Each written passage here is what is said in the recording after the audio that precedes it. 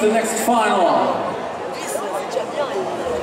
We're gonna start with the challenge man 25-29. Plate number one in lane one from New Zealand, Adam Cocker.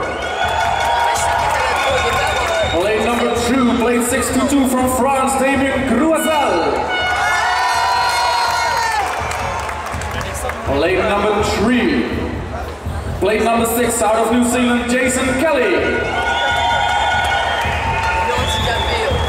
Plate number plate number 625 from France, Alexander Molion.